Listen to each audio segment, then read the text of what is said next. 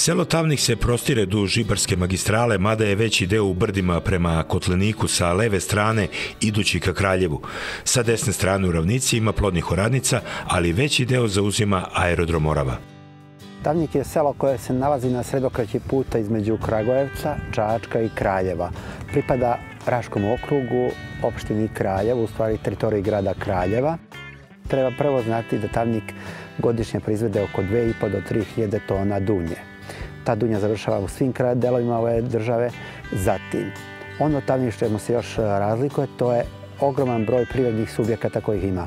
Preko 15 subjekata imamo privrednih u selu, 700 radnika ima da radi tako. Ono treba naglasiti da imamo dve klanice, odnosno prerade mesa, zatim da imamo jednu proizvodnju maje, jednu najboljih u Srbiji, otkupljivače kože, znači prevoznike, firme koje se bave proizvodnjom ekopanela. Čak imamo jednu američku investiciju s nekih 80 radnika. Inače, tajnik ima oko 360 domaćinstava.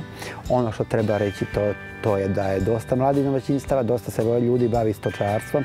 To su klanice i prerade mesa uslovile to, zatim dosta uslovila i mlekara i sve to ali je Tavnik dosta iskoristio tu sredokreću puta i ovi privredni subjekti su dolazili uopšte mnogo dobro da se vi nalazite na sredokreći puta i distribucija svih proizvoda ide. Tako da svi koji rade, rade na području Čačka, Kraljeva i Kragujevca.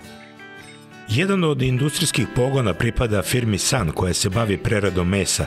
Prerada je locirana u Tavniku baš zbog položaja sela, ali i sirovinske baze, pošto je ovaj kraj stočarski.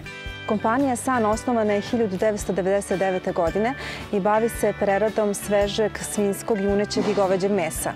Kompanija ima 95 zaposlenih radnika i 9 maloprodajnih objekata u Kraljevu, Kragujevcu i Čačku.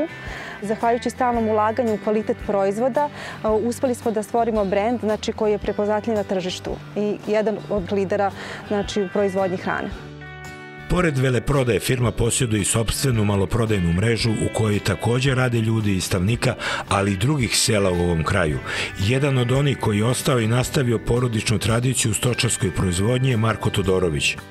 Satičemo ga na njivi pored magistrale gde je imao kvar na traktoru tokom oranja pa koristimo priliku za kratak razgovor.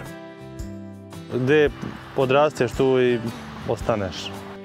Ženio sam se porodicu, imam dva sina, jedan šest godina, jedan godina i po. Imamo svoje zemlje 10-12 hektara i radimo pod zakup možda još 10 hektara. Imamo 30 grla stoke, svinje, ovce, standardno na selu sve, kao i svi. Radimo sve pa kako bude na kraju. Najveći problem je cena i u mlečnom govedarstvu i u tovu bikova. Da nije posticaja ministarstva, ali i onih koje daje grad Kraljevo, stočari bi teško mogli da opstanu. Marko je ostao na selu, a za decu će da vidi. To se ne zna. Ako budu deca učila dobru školu, verovatno će ići dalje. Ako ne, onda ovo im je sigurno na njima da odluči. Pored svih privrednih subjekata u razvoju je i kapacitet i poslovanje aerodroma Morava. U Tavniku očekuju da će i tu biti posla za mlade. Treba reći da se ovde diče svojim kulturno-istorijskim nasledđem. To vide i kao potencijalnu šansu za razvoj turizma. Tavnik je selo i tradicije i budućnosti. E, tradicija je, kad pogledate, Čardak, 1804. godina, imamo Kneževiću kuću, 1804. godina, manastir Voljavča, prvi se pominje u 12. veku. U vreme bivše Jugoslavije Tavnik je sam devao poljoprivrednim proizvodima Split, Zadar, Rijeku, zatim Beograd, Novi Sad i tako. Ono što je lepo, uvek možete u svim turističkim manifestacijama u Srbiji videti proizvode iz stavnika koji se nalaze na tim.